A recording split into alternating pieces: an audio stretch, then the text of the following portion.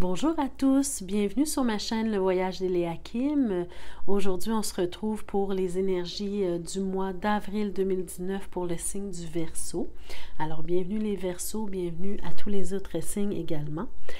J'espère euh, que tout le monde se porte bien, j'espère que vous avez passé un très beau mois de mars et j'espère que vous accueillez le printemps. Euh, de la meilleure façon possible, que vous profitez du beau temps, que vous profitez des amitiés, euh, de sortir un peu, prendre de l'air euh, un peu aussi. Donc, avant de commencer votre tirage, euh, comme à l'habitude, je tiens à préciser que les tirages sont des tirages d'ordre général et qu'il se peut qu'ils ne concordent pas avec ce que vous vivez en ce moment. Hein. C'est normal. ce ne sont pas tous les versos qui peuvent se reconnaître dans ces tirages-ci, dans ce tirage-ci. Alors, je vous conseille dans un premier temps d'aller euh, voir euh, les vidéos concernant votre signe ascendant et euh, celui de votre signe lunaire également pour obtenir un complément d'information. si jamais vous avez besoin d'un tirage personnalisé, ça me fera plaisir de le faire pour vous. Vous pouvez communiquer avec moi à l'adresse qui apparaît en barre d'infos. Et dès que vous le ferez, je vous enverrai la procédure ainsi que mes tarifs pour recevoir votre tirage personnalisé. N'oubliez pas, n'oubliez pas également pardon, que les euh, messages sont des, ne sont pas des messages de fatalité, mais de probabilité. Hein. Donc, euh, vous êtes averti d'une probabilité qui peut survenir. Alors, c'est à vous de décider ce que vous faites avec les messages reçus. Euh, je, mets encore une fois ma petite clé de la destinée, tout simplement pour vous rappeler que vous avez le plein pouvoir sur votre vie et euh, que vous pouvez décider de changer le courant des choses à n'importe quel moment. D'accord?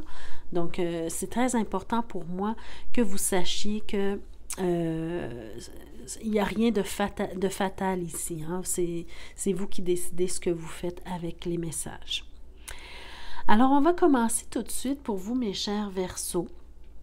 Alors, euh, j'ai l'impression que c'est une suite un peu logique des autres messages, des autres tirages, en fait, des mois passés. C'est un tirage qui concerne, d'après moi, euh, l'amour, hein, ici. Alors, euh, pour vous, mes chers Verseaux, on voit que pour certains d'entre vous, vous avez quelqu'un de très fiable, euh, de très protecteur et de responsable qui est près de vous. Hein. On a le chevalier de denier ici.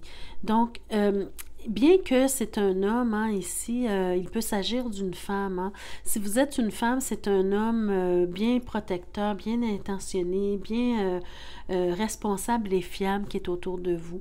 Mais si vous êtes un homme et que vous, vous pensez à une femme, hein, quelqu'un qui est autour de vous, bien ça peut être également représenter une femme ici, peu importe votre situation amoureuse. Si on continue, on a le monde ici. Alors, deux belles cartes. Hein. Le chevalier qui est protecteur, qui est, responsable, euh, veut, veut vivre, aimerait vivre un grand amour avec vous. Hein.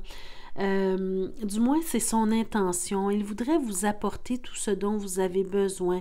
Euh, il voudrait faire en sorte que votre vie amoureuse soit complète, vous comble. Euh, il voudrait se sentir comblé également.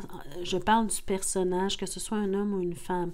Alors, on voit que la personne, elle est dévouée à réussir à apporter du bonheur dans votre couple. Par contre, on voit la roue inversée, la roue de fortune inversée. Alors, ça nous parle un peu de malchance ici. Ça nous parle peut-être aussi euh, soit de malchance ou bien d'occasion ratée, d'occasion, euh, d'opportunité que, les deux, hein, que la personne ou vous euh, n'avez pas saisi. D'accord? Alors, c'est un peu euh, euh, dommage en fait parce qu'on voit qu'il y a de la sincérité, hein. il y a vraiment de la sincérité, mais il y a une malchance quelconque qui est arrivée dans votre vie, dans votre couple, dans votre vie amoureuse, qui fait en sorte que cette personne-là, voyez-vous, on a, le, personnage ici. Euh, il s'agit de la même personne, mais sous des angles différents. Ici, on a la personne qui est fiable, qui est protectrice, qui est responsable. Mais ici, on a le même personnage euh, qui s'est présenté inversé, donc un chevalier à nouveau, mais le chevalier de coupe. Donc, ce que ça me dit, c'est que en fait, euh, je ne sais pas si vous voyez bien euh, les images, hein, mais en tout cas, on a le chevalier de coupe, mais qui s'est présenté inversé ici, contrairement au chevalier de, de, Denis. Donc, ça m'indique que le chevalier de Denis, avec le chevalier de Denis, la personne, elle est euh, responsable, elle est bien intentionnée, mais que pour une raison ou pour une autre, hein, probablement la malchance ici ou l'occasion ratée, elle n'est pas en mesure de vous donner l'amour euh, qu'elle aimerait vous donner. Hein, la personne en question euh, sans sans qu'elle n'est pas en mesure de vous donner l'amour que vous méritez, comme elle le voudrait en tout cas. Mais ce n'est pas une question de manque de sincérité ici. Il y a comme une dualité. Voyez-vous, les deux chevaliers sont dans la même position, au même endroit, hein, sur la même ligne, mais euh, se font dos. Hein, fond d'eau. Donc, c'est-à-dire qu'il y a des bonnes intentions, mais incapacité de donner l'amour que vous méritez. Donc, il y a comme une dualité dans les sentiments. Alors, si on continue un peu plus loin, on a la, la reine d'épée ici qui s'est présentée. Alors, malgré tout ça, tous les deux, vous devrez prendre une décision, mais vous devrez prendre la bonne décision pour vous deux. à savoir si vous continuez malgré tout, si vous continuez malgré cette malchance-là, parce qu'on voit que il y a comme une malchance, mais il y a comme des difficultés en particulier qui sont arrivées ou qui, qui, sont là depuis un certain temps. Et malgré ça, vous allez devoir décider si vous continuez de, dans, votre, dans cette relation-là ou si vous décidez complètement de quitter la relation. Et, vous devrez faire ça tous les deux. D'accord? Euh, la seule chose que j'aimerais vous dire, c'est qu'avant de prendre, peu importe quelle décision vous allez prendre, n'oubliez pas que le 10 de bâton, je vous montre la carte de plus près. Le 10 de bâton, c'est une carte qui nous parle, oui, de difficultés, mais qui nous parle aussi, qui nous demande de ne pas abandonner, de faire un pas de plus, de, de, de voir qu'il y a de la, la, lumière au bout du tunnel. Voyez-vous, on est à l'aube ici, on voit le soleil qui commence à, à, se lever, à se réveiller. Et le 10 de bâton, ça nous parle de la fin d'un cycle. Donc, ça veut dire que peu importe les difficultés que vous êtes en train de vivre, hein, tous les deux dans votre relation, les choses vont, vont finir par passer. Alors, si vous n'abandonnez pas, peut-être que vous allez voir la lumière au bout du tunnel. Peut-être que vous allez euh, pouvoir vous créer ce monde hein, ici, avoir tout le bonheur que vous vouliez depuis longtemps.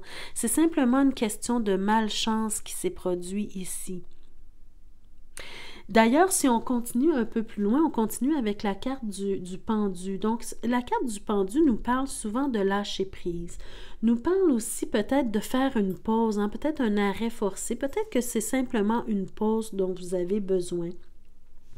Ou bien également le fait qu'elle euh, soit inversée, la carte peut nous parler euh, que vous devez faire preuve de souplesse de part et d'autre, hein, pas seulement euh, vous, mais peut-être euh, l'autre personne également.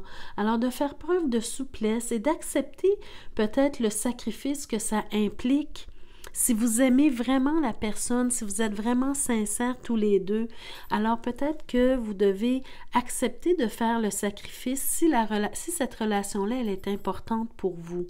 D'accord? Et ensuite, on voit aussi ici que le problème principal est en rapport probablement avec les ressources financières. Si vous vous souvenez bien, les, vidéos passées hein, euh, pour les versos, ça nous parlait de ça, euh, si je ne me trompe pas, que vous aviez quelqu'un dans votre vie, mais qui semblait hésiter à vous donner son amour, hésiter à être près de vous à cause de problèmes cachés ou de problèmes d'argent. Alors, euh, ça continue. Hein. Ici, c'est vraiment euh, le problème est, est, évident ici. Alors, la personne est sincère, mais a peur de ne pas être capable de vous donner tout ce dont vous méritez parce qu'elle voudrait vous donner le monde entier, hein, mais n'est pas capable de créer ce beau monde-là euh, dans euh, un, monde sécur et confortable euh, pour le moment parce qu'il vit, il ou elle vit des difficultés. Alors, c'est ça qui empêche euh, la relation d'avancer un peu plus loin. Donc, c'est là l'importance pour vous de prendre la bonne décision pour vous, mais de considérer que cette, euh, euh, cette problématique-là peut prendre fin d'un moment à l'autre.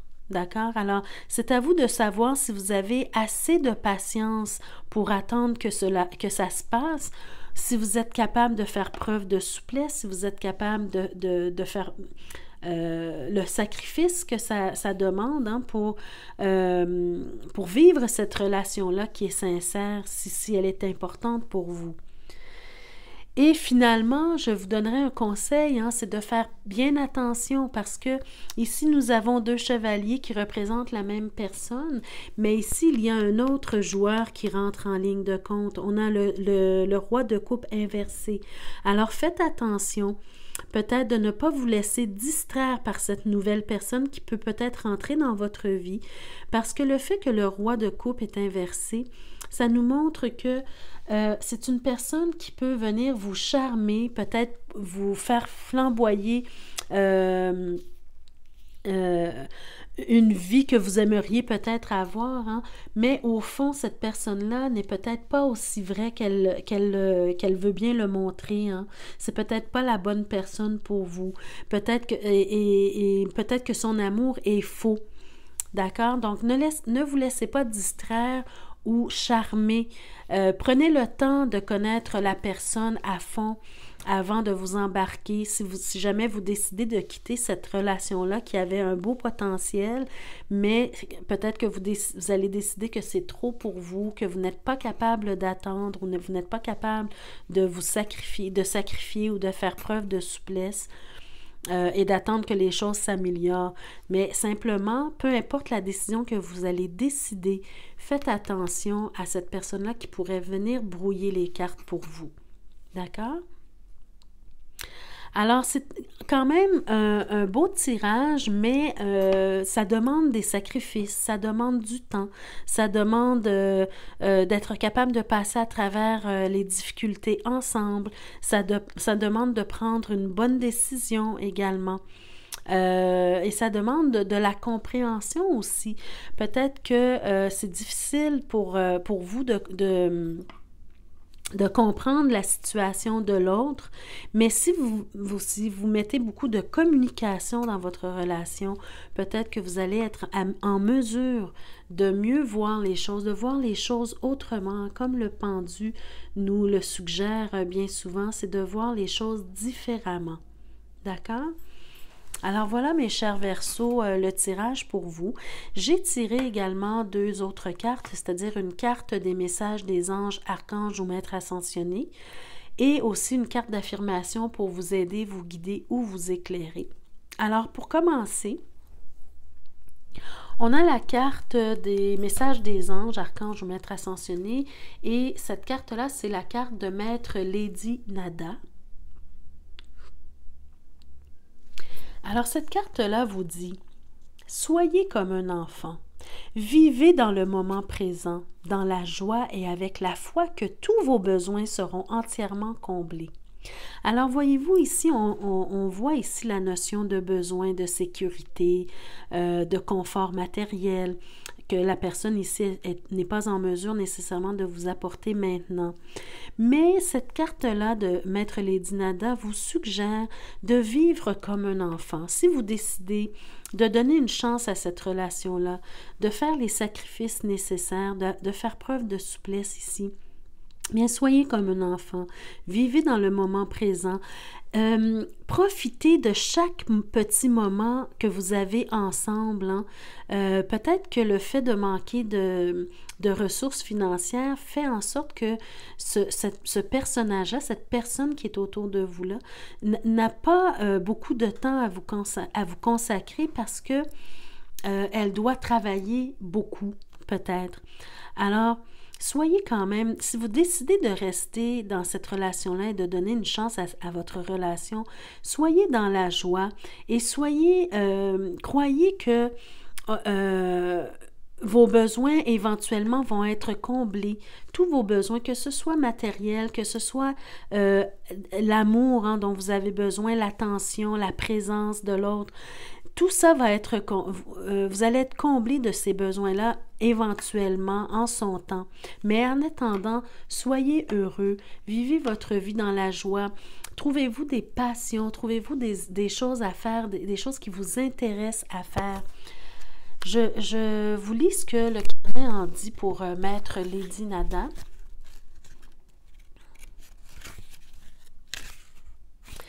Alors ça vous dit, L'enfant qui veut un verre de lait le demande clairement avec détermination et sait qu'il l'aura. Il ne, se demande pas ce qu'il va faire s'il ne l'obtient pas. Il vit plutôt dans le moment présent et dans la foi, avec confiance que ses parents pourvoient à tous ses besoins. Demandez-lui de vous aider à vivre dans l'instant présent avec la confiance. D'accord? Demandez ça à Lady Nada. Lady Nada dirige le sixième rayon or et rubis. Elle assiste les guérisseurs, les prêtres, ceux qui s'occupent des enfants, des opprimés et de la nature. Elle permet de débloquer toute la communication et donne le don des langues et le pouvoir du Verbe divin. Alors demandez-lui de vous aider à bien communiquer. Peut-être qu'avec une, belle communication, vous allez être en mesure de vous comprendre mieux, de vous apporter euh, mutuellement ce dont vous avez besoin, d'être capable de vivre dans le moment présent et de profiter de tous les instants que vous avez ensemble.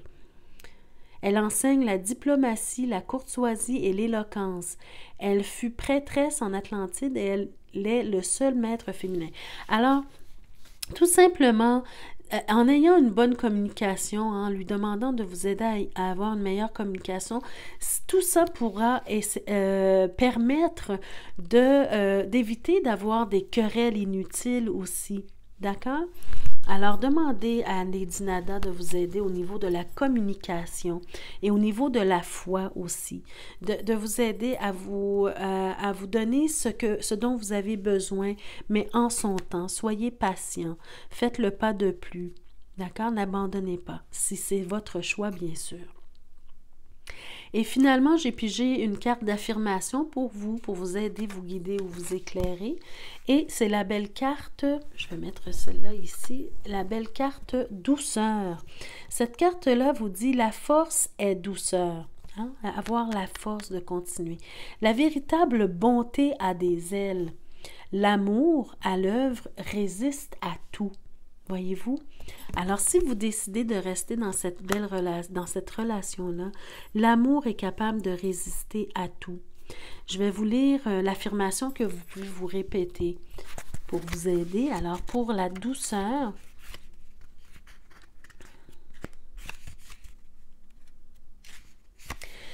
vous pouvez vous répéter aujourd'hui, je laisse la gentillesse grandir en moi. J'use de douceur avec moi-même et j'accorde à mon âme l'amour qu'elle mérite. Je me concentre sur l'amour éternel et l'envoie doucement voguer, dans le monde. Je suis en vie. Ma gratitude est sans borne et mon cœur déborde maintenant d'amour et de bonté. Alors voyez-vous, autant que c'est important de donner l'amour à l'autre, hein, mais c'est aussi important de vous accorder l'amour que vous méritez. Alors avant de demander à l'autre de vous donner l'amour que vous méritez, accordez-vous cet amour-là à vous-même. Et peut-être de cette façon-là, vous allez être plus à même de euh, d'être euh, patient parce que vous allez, en, vous accordant l'amour que vous méritez à vous-même, vous allez être capable d'aller chercher euh, vos passions, vos intérêts, faire autre chose en attendant que cette situation-là se règle et en attendant profiter des moments, comme je l'ai dit à plusieurs reprises pendant ce tirage, profiter du moment présent et profiter des moments que vous vous accordez l'un et l'autre. D'accord? Et en attendant, Faites des choses qui vous intéressent, des choses que vous aimez, en attendant que cette situation-là se règle pour vous. Alors voilà mes chers Verseaux, c'était votre tirage pour le mois d'avril 2019. J'espère qu'il vous a plu, j'espère qu'il vous a apporté quelques pistes de solutions, euh, qu'il a pu vous éclairer aussi. Alors, peu importe la décision que vous allez prendre, hein, euh, vous, vous devez l'assumer, mais prenez le temps de bien y réfléchir et ne vous laissez pas euh, berner non plus par quelqu'un d'autre qui pourrait arriver euh, plus tard dans votre vie.